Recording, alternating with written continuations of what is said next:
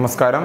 സ്പ്ലിംഗർ ഇടപാടിനെ കുറിച്ചുള്ള അന്വേഷണ റിപ്പോർട്ട് സംസ്ഥാന സർക്കാർ നിശ്ചയിച്ചിട്ടുള്ള സമയപരിധിക്കുള്ളിൽ സമർപ്പിക്കാനാകുമെന്ന് കരുതുന്നതായി കമ്മീഷൻ ചെയർമാനും മുൻ കേന്ദ്ര വ്യോമയാന സെക്രട്ടറിയുമായ എം മാധവൻ നമ്പ്യാർ പറഞ്ഞു. ഒക്ടോബർ പത്താണ് സർക്കാർ നിശ്ചയിച്ചിട്ടുള്ള സമയപരിധി.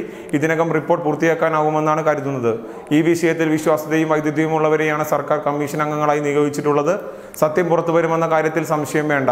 ഒരു പ്രശസ്ത മാധ്യമത്തിന് നൽകിയ അഭിമുഖത്തിൽ സംസാരിക്കുകയായിരുന്നു മാധവൻ നമ്പ്യാർ. കോവിഡ് പത്തൊമ്പത് സൃഷ്ടിച്ച അസാധാരണ സാഹചര്യങ്ങളാണ് സ്പ്ലിംഗർ ഇടപാടിനെ തിടുക്കത്തിൽ രൂപം നൽകാൻ പ്രേരിപ്പിച്ചതെന്നാണ് സംസ്ഥാന സർക്കാർ അവകാശപ്പെട്ടിരുന്നത്. എന്നാൽ സ്പ്ലിംഗറുമായുള്ള കരാർ പുതുക്കേണ്ടതില്ലെന്ന് സർക്കാർ തീരുമാനിക്കുകയും സ്പ്ലിംഗറിന്റെ പ്ലാറ്റ്ഫോം ഉപയോഗിക്കപ്പെട ഉപയോഗിക്കാതിരിക്കുകയും ചെയ്ത സാഹചര്യത്തിൽ സർക്കാരിന്റെ ഈ അവകാശവാദം തകർന്നിരിക്കുകയില്ലെന്ന ചോദ്യത്തിന് മറുപടി പറയാൻ മാധവൻ നമ്പ്യാർ വിസമ്മതിക്കുകയും ചെയ്തു.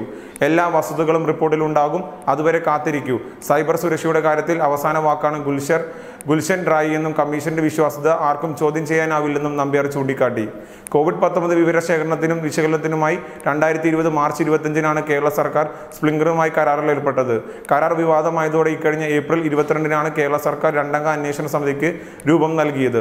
മുൻ കേരള സംസ്ഥാന അഡീഷണൽ ചീഫ് സെക്രട്ടറിയും നിലവിലെ മുഖ്യമന്ത്രിയുടെ പ്രത്യേക ഉപദേഷ്ടാവുമായ രാജീവ് സദാനന്ദനായിരുന്നു സമിതിയിലുള്ള രണ്ടാമൻ. എന്നാൽ രാജീവിനെ കോവിഡ് പത്തൊമ്പത് വിഷയത്തിൽ മുഖ്യമന്ത്രി പിണറായി വിജയന്റെ ഉപദേശകനായി നിയമിച്ചതോടെ രാജീവിന് പകരം സൈബർ സുരക്ഷാ വിദഗ്ധൻ ഗുൽഷൻ റായ് സമിതി അംഗമായി.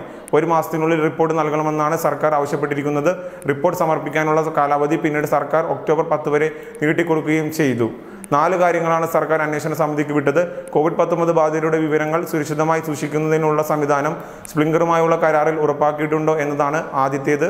സ്പ്ലിംഗറുമായുള്ള കരാറിൽ ഏർപ്പെട്ടപ്പോൾ നടപടിക്രമങ്ങൾക്ക് വീഴ്ച വീഴ്ചയുണ്ടായിട്ടുണ്ടോ എന്നതാണ് സമിതി അന്വേഷിക്കുന്ന രണ്ടാമത്തെ കാര്യം. ഏതെങ്കിലും വ്യതിയാനങ്ങൾ ഉണ്ടായിട്ടുണ്ടെങ്കിൽ കോവിഡ് പത്തൊമ്പത് ഉയർത്തുന്ന അസാധാരണ സാഹചര്യം അവ അനിവാര്യമാക്കിയിരുന്നോ എന്നതാണ് സമിതിയുടെ അന്വേഷണ പരിധിയിലുള്ള മൂന്നാമത്തെ കാര്യം. ഭാവിയിൽ ഇത്തരം കാര്യങ്ങൾ കൈകാര്യം ചെയ്യുന്നതിനുള്ള നിർദ്ദേശങ്ങൾ നൽകാനും സർക്കാർ സമിതിയോട് ആവശ്യപ്പെട്ടിട്ടുണ്ട്.